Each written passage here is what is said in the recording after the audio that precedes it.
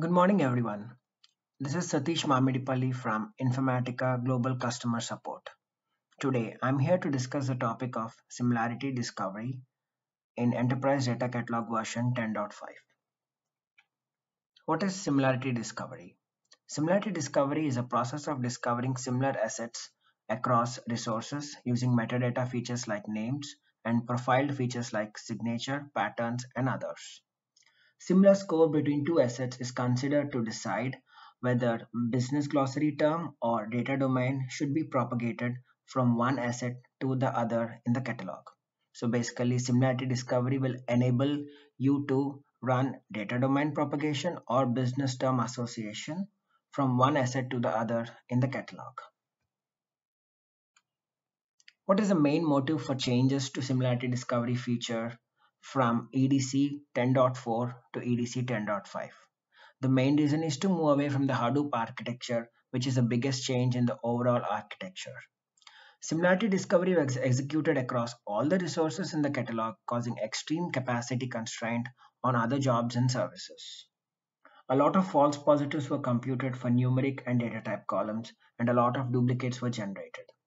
Similarity discovery was computed across all the features all at once for all the resources.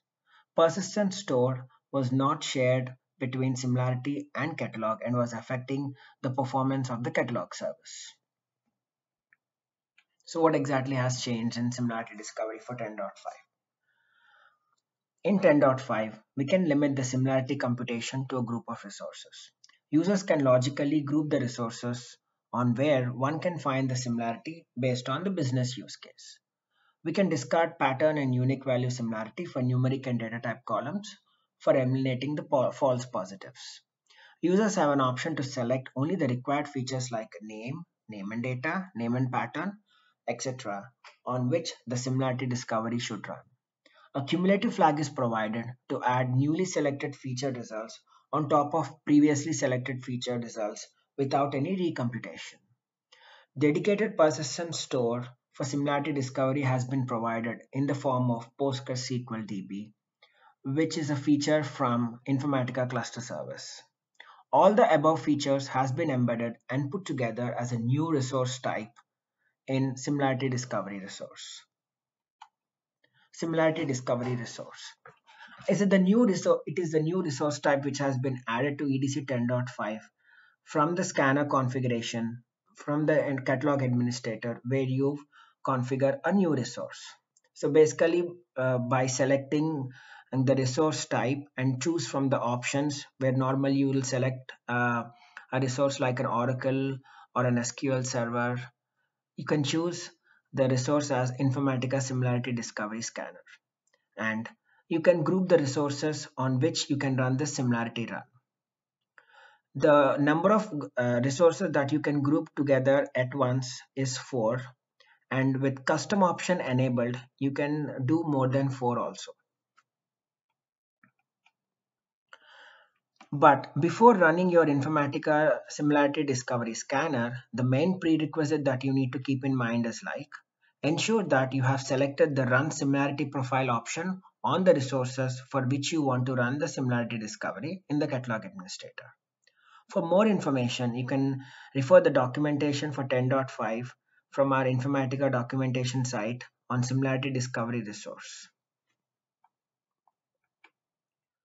Once you have configured or grouped the resources for which you want to run the similarity run, you will come to the metadata load settings page where you enable the similarity discovery on the required features or for name, patterns or unique values with cumulative or non-cumulative option enabled.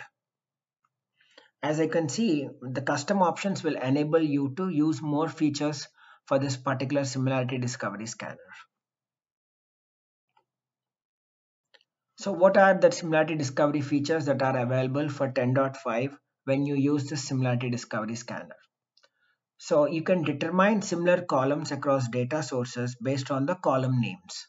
The name match uses a string which will identify the columns that have similar names.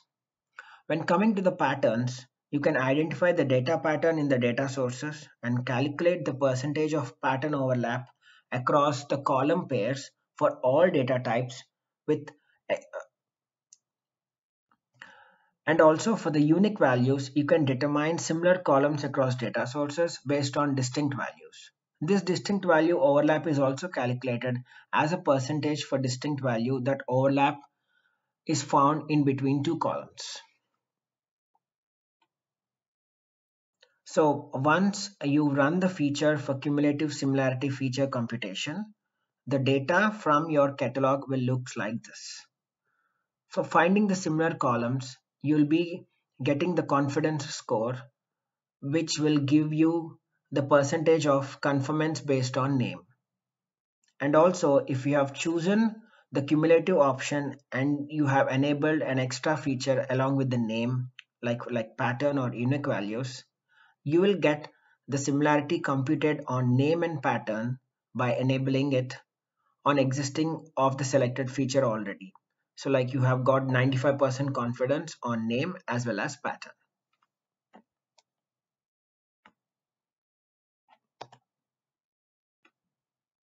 We would love to hear from you. Please contact or email us at supportvideos at informatica.com with your questions. And also kindly visit our Twitter account at twitter.com slash infasupport. Thank you.